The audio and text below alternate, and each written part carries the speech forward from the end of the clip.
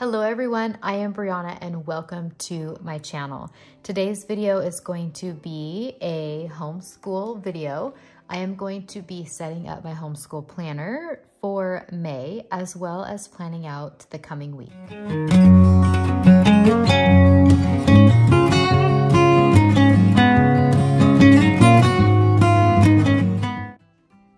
This is the Erin Condren Homeschool Planner. I recently did a flip on this if you want to check that out. I'm not going to flip through it every time I do a plan with me, but I am using the Erin Condren Homeschool Planner. Um, they are releasing again. This one is last year. I am curious to see if they made any changes on the new one. But Erin Condren, they released some sneak peeks of the teacher planner on their Instagram. And I have to say, that vertical, the new vertical option, looks amazing. I hope that they would do that for the homeschool planner because I feel like it would be such a great tool.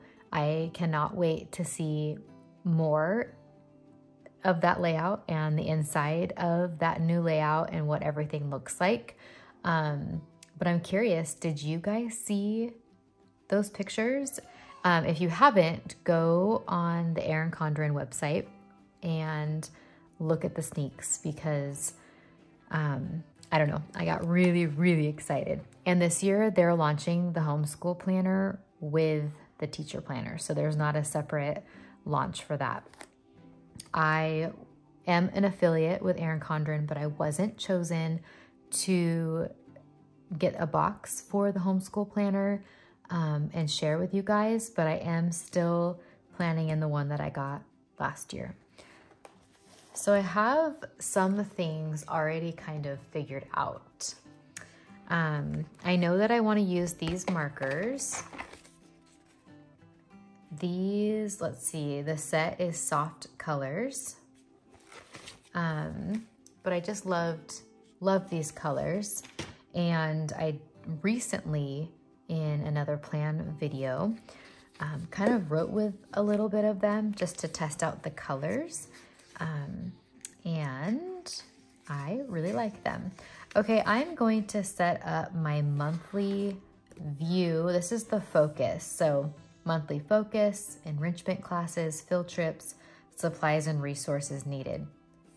I like to cover up these topics because I changed them. I don't need like a whole box for field trips or enrichment classes. And I'm not buying supplies every month. So I don't need that portion. Um, and then for the monthly,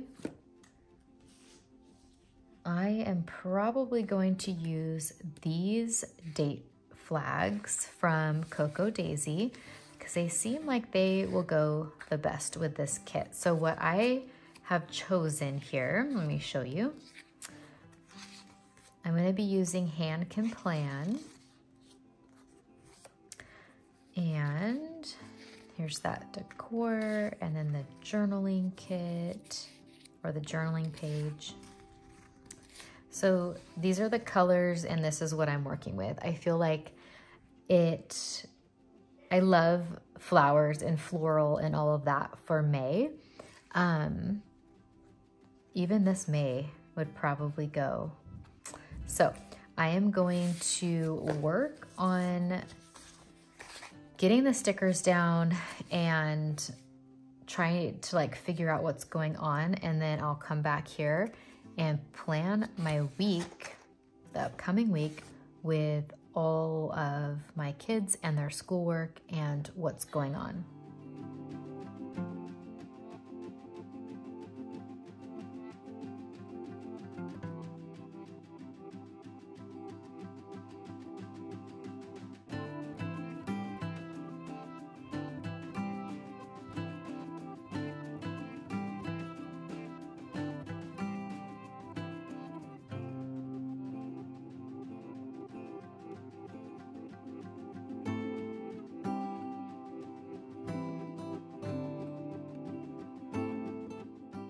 How cute is this kit? I mean, it looks perfect on these pages. What I did is I pretty much covered everything that is originally on these pages with Handcom Plan stickers. And my thought here is just to have a space to just jot down anything. I'm going to do like um, a routine in this one and then I can have like important details. I don't know. I'm going to try to fill that in and figure out how I want this to look. And then on my next homeschool plan with me, it should be completed and you guys could see what I did and how I used it. Um, another spread that I absolutely love. I mean, look at this. I love it. The colors, the flowers, the, um, I don't know, it's just, it's not overloaded with things like, um, like my to-dos and, you know, my planner, perfect planner, my personal planner. It's just so jam-packed with everything. And it's such a tiny space that it just looks overwhelming. And this to me just looks fresh and um, not overwhelming. So the point of the like this monthly spread is going to be um, just like extra things that we're doing and like homeschool stuff. I'm not gonna put any other thing other than that. Okay, so my thought for this week, let me, I'm going to start by writing the date. So we have, we're going into April and, or we're ending in April and going into May. So actually, I think I might want to use the pink. We are going to be in April. Is it the 20? Let's see here. 29th through May 3rd. Okay, so that is the school week. Um, oops, I just dropped all of my pens, but good thing I don't need them. I am going to do something a little different and it is I was inspired by that sneak peek of the vertical for that teacher planner. And so what I'm going to do is I am going to do everything vertically this week, which is probably going to throw me off. Um, but I'm going to see how it goes. So this first one is going to be Monday. Tuesday.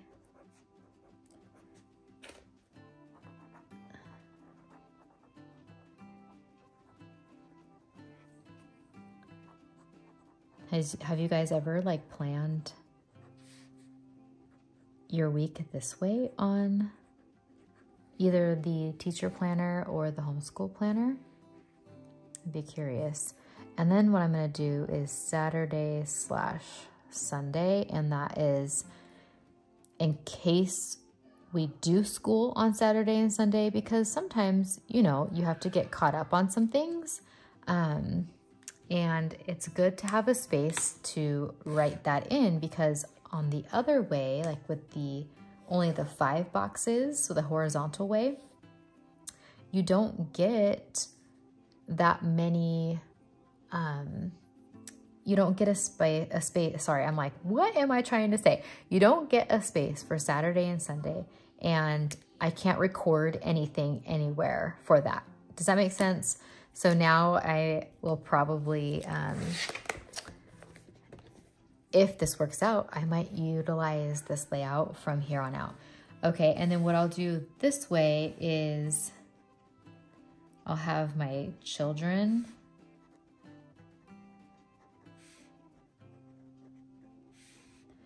And then there's gonna be a blank space down there on the bottom that I'll have to figure out. Um, so Monday is our CC day. So I am just going to write CC and then community day and where is my ruler? Let's see. Not the one I was looking for, but it's right here. Um, I'm going to just do a line. Then I want to continue that line and it's probably going to be a little bit crooked. Um, here we go. Okay, well, that ran into there. Next time, I'm not going to do a full line. Look at that line is so crooked. Me, oh, I cannot do lines for some reason. In my personal planner, I tried to do lines and it was just, it was so crooked. I need to work on, I need to work on this. And you know what I actually need and what I was looking for, oh, now I'm, now I can find it, is the ruler that Erin Condren gives you because it is long enough for these pages. Um, so next week I will be smart and use that. Okay, now I need to think. My children were being a little bit loud and distracting me and I couldn't get my thoughts um, all out. So Tuesday is a busy day for us. I am not going to plan, so I'm having my personal planner out here in front of me so that I can see what we're doing. It wouldn't be wise for me to plan out this beautiful week without seeing what is in my personal planner because if there's a day that it's like nonstop go, go, go, then we're not getting school done. And I think Tuesday is a day like that. Um, let's see here. I am going to put down Saxon math for my oldest. And in this Planner Perfect journal, I have the curriculum written out of what is left and I'm marking it off as we go. I utilize this system so much. It like helps my brain actually see, okay, all of this is accomplished. This is what's left. Um, so I don't know next year moving forward what I'm going to do uh, because I like these tracker systems. And I love setting up a week in my Erin Condren homeschool planner. But then during the week, I kind of have no desire to be in it. So I'm doing a new approach where I'm trying to just like set everything up and like check mark it off Saxon, and I'm gonna put an I here because he's going to be doing an investigation. Um, so I like, I'm just gonna like start checking it all off. And then we have Saxon. So this is different because all of their items need to be listed in this small box instead of like each one used to be a subject. So I'm testing this out. We'll see if this even works. Okay, so while I have him open, we're gonna do, we do all about reading. We're in level one and he's gonna do lesson 26. And for spelling, we use Abeka and we are only on lesson two. I am not, since he's only in first grade, I'm not moving him super quickly through these spelling lessons. I want to make sure that he's grasping the concept. Like even in lesson two, there are words in there that he hasn't learned in All About Reading. So I'm kind of halted, but I am taking words from the All About Reading sheets and having him spell those. So it doesn't look like we're making progress on spelling lesson wise, but I am having him spell when I'm doing all about reading and picking out words from there. Um, so that's actually all that he does. He does handwriting and then He sits in on history and science and Bible for morning time. Oh, that's what I could have done. Okay. Um, so next week, I'm going to move all the kids down and have the first line be our morning time, gathering time, because that is when we do our Bible, history, and science. And I need a spot to write all of that out.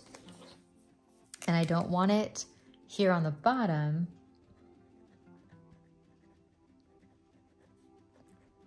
Okay, morning time. Because it's our first thing that we're doing. Okay, sorry. I had a tickle in my throat and it was gonna cause me to start coughing. Um, okay, so he has math. Um, spelling, cursive, and his main thing that I want him to focus on this whole week is the Faces of History paper for essentials in classical conversations. He needs to button up his um, paper so that he can present it on May 6th. So this is definitely important. Um, and then we have, so I am using My Father's World for kindergarten. It's my absolute favorite curriculum for kindergarten. It is so sweet and so gentle, um, but we are definitely, definitely taking our time on this. Day two. Um, just because she, so she's five, and my other kids who did my father's world, they were five but turned six quickly after the year started. She turned five right as the year started. So now we're kind of kicking it into gear. We're going to work through this summer uh, to finish that curriculum and then start her in first grade in the fall. So um, that's the plan right now. I just feel like just watching her and you know, she's super smart and willing to do this, but when reading, when it comes to that portion, she's really slow going through that. Um, I think it overwhelms her, but then she ends up getting it. So now I am seeing that she has matured a little bit towards the end of this year and she's ready for me to just like pick up the pace and start going. And then she is also doing Saxon. She's in Saxon 1. She just started that. And she is on lesson 5. So um, my first grader actually could probably move to Saxon 2. But I have him in 1 still. And he's going to work through that as far as he can go. And then after, after summer, we'll start him on 2. Um, all right, so this isn't going to be too hard for me. So on Tuesday, I'll just work with them in the morning and then these two can work on their own. So actually Monday is the last day of CC. And so my oldest will not have challenge A anymore. So we're gonna have to try to come up with not more for him to do, but he's just going to finish his math He's going to finish his spelling and his cursive. And then over summer, he's going to do his Latin so that when he starts challenge B, he could participate because we stopped doing Latin. It was too overwhelming. So I feel like having the summer to kind of um, learn the vocab and the declensions and all of that, it's going to be helpful. Okay, I don't know why I put this away. Okay, lesson 80. And it's going to look like this all week pretty much. I'm looking here. Yeah, so, and also what my oldest is going to do is there were a few papers that he didn't get to write this year. And he is going to go back and complete those over the summer. And his summer, I mean, his summer starts for CC on April 29th. Um, so he's just going to work, like continue working. And then when he's done with those papers and his math, then he can stop and he can have his summer. So that is the plan that we are kind of sticking to right now. Um, what I need to do though, oops, I went down a line there. Okay, so what I need to do is pick out more books for him to read so that he's not bored and then um,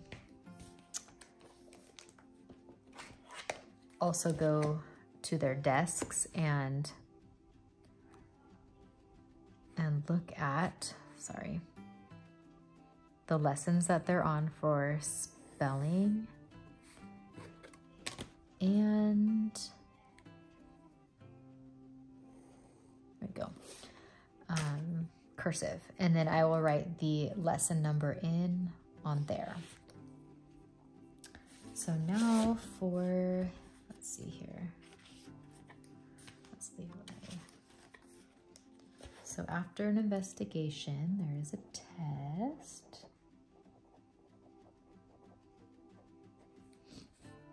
Then after so it seems kind of like I am writing things out like Saxon math, Saxon math, you know, when I could just do math.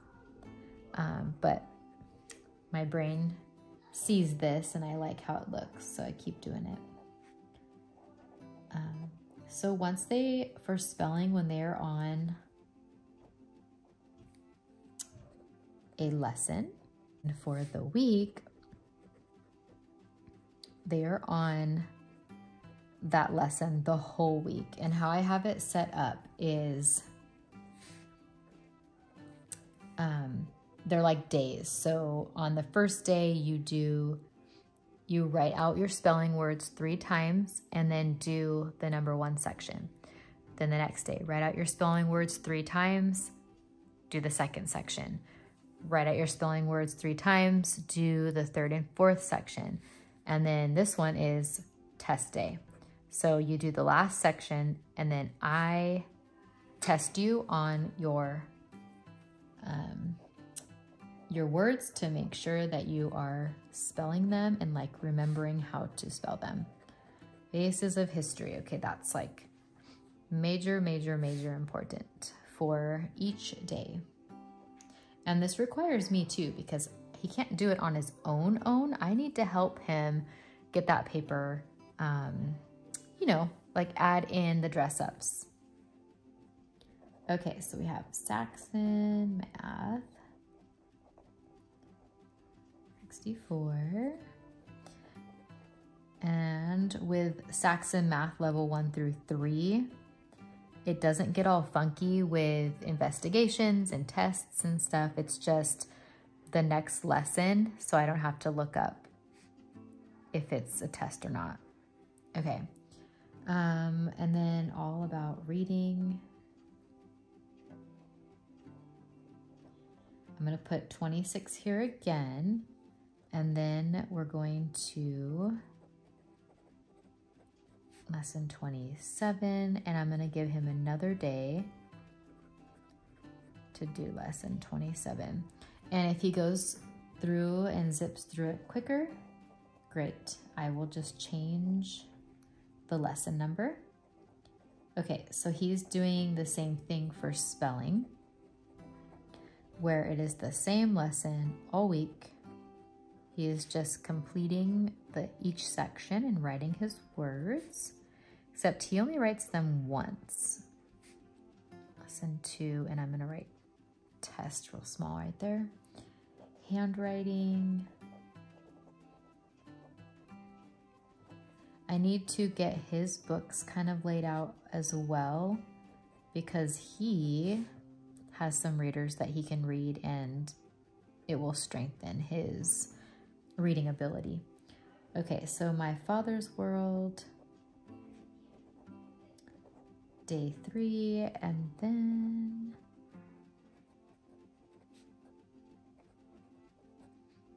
day four. It's kind of funny writing this way. My brain is not, I, I had a moment where I was like, ah, what am I doing? Okay, Saxon lesson six. Lesson seven. Okay, lesson eight. And Saturday and Sunday, you know what I could do? Is I could put all of the extra things that we're doing. So uh, let's see, Tuesday, Wednesday. So Tuesday, he has speech therapy. And then on Thursday, he has tutoring. Um, Wednesday, piano. So I'm just trying to like think of all of the extra curricular things that they have going on. And I'm not going to put baseball here. Um, I mean, I could. I don't think I need to though, because that's in my personal planner and that doesn't have to be on there. So I am going to write over here. I know that you can't really see because this planner is so huge. Let's see if you can see now. Okay. Um, I'm gonna go main focus this week. Faces of history. Okay. All right, I think, oh, morning time. Let me, you know, I have a printout downstairs that I need to grab. I'll be right Last back. Last week I typed out lessons and the science, history, and Bible that I want to complete by June 3rd through the 7th. And since we were sick last week, I got a little bit behind. So what I was doing is just marking off what we did. So I'm to have to push these down. And do you guys remember Homeschool Planet? I think that's what it was called. It's a online homeschool planner and you type in things, but it calculates everything for you. And if you miss a lesson, you just hit like, you know, missed or whatever, and it pops it to the next day. Um, that was super helpful when you went to print things out. But then I was like, well, I really am a paper planner. So I stopped using Homeschool Planet, Planet so every once in a while, I have to sit down on a computer and type everything out so that my brain can see it all together. Um, okay, so on Tuesday, we are going to do stories of America for history, and that's going to be chapter 12. We are going to do lesson 93. Um, and that is in the Simply Charlotte Mason book. So what I decided to do was pull out all of the stories of America and stories of our nations and type those out, but then pull out the revelation part of it because I knew that we weren't going to finish all of that curriculum, but I wanted to finish the Bible portion. And so what we are doing is reading through Revelation. And so we will read through all of Revelation by the end of this school year. And my kids are super excited about that um, because they have always wanted to read through that book with me. Okay, and then the good and the beautiful science, we're doing health in the physical body, lesson seven. So I'm going to shorten this to, let's see, stories of America. Well, that doesn't look right, but I know, I know what it is. Chapter 13, And then we have lesson 98 of Revelation. And then the good and the beautiful. Lesson 8. Okay. Oh, you know what? This was probably a mistake having all of this on a Tuesday morning. I might have to do this one. So this morning time is going to be at lunch.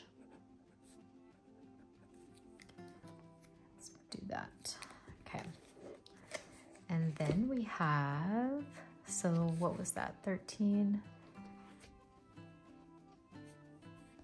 Stories of America. Lesson 14, and I'm just gonna go right over here. Lesson 15, and then move on. Lesson 103.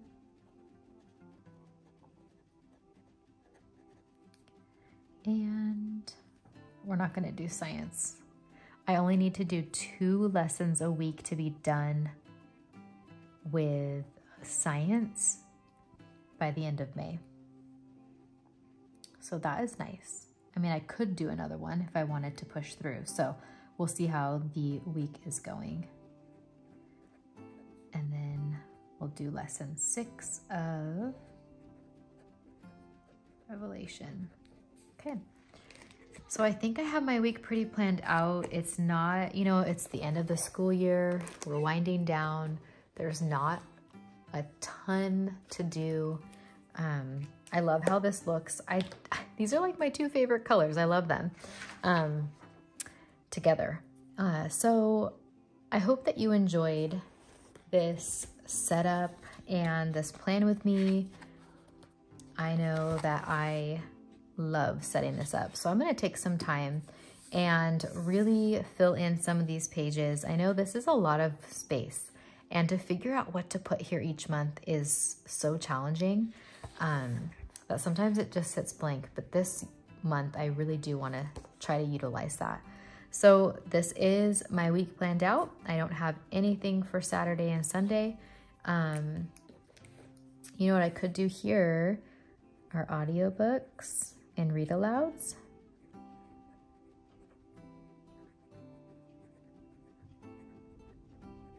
so that I can keep a record of that. I used to put all of those here in my planner last year and it worked out. I liked seeing that and having that there.